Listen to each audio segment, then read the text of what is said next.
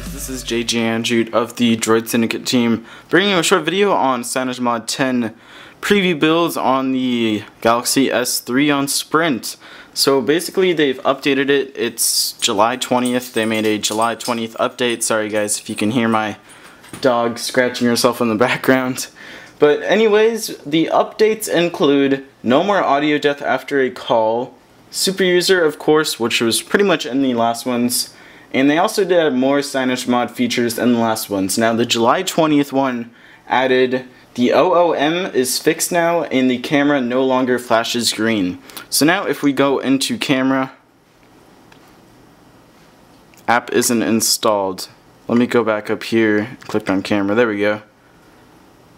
You can see here that there's really no uh, no green. Looks like it sort of froze up on me right there though. Let me press home.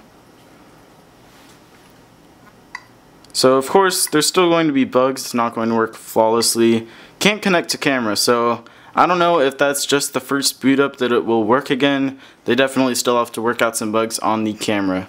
But I don't know, it says that there's no flashing green light anymore, so that's always good. But they still have to fix MMS downloading not working and the overlay for the UI, which is pretty much extra butter, so they're trying to make it a little bit faster. They still have to fix that in CM10. And of course, they're still missing a bunch of features that CyanogenMod usually includes, and they're also missing uh, just a lot of bug fixes. They really have to work on patching up the software so that it works pretty much flawlessly, and that might take about a month or more. Doesn't really matter.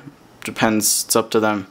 But yeah guys, thanks for watching. It was really just an update video. Oh yeah, and also if you go down into settings, sorry, trying to do it with one hand, system is now there, and you can edit your status bar and other things as you normally would. So that's always pretty cool feature. So I really recommend installing the update. You might be able to get your camera to work sometimes. And yeah, looks like a pretty decent update from after two days. So yeah guys, thanks for watching and I'll talk to you all later.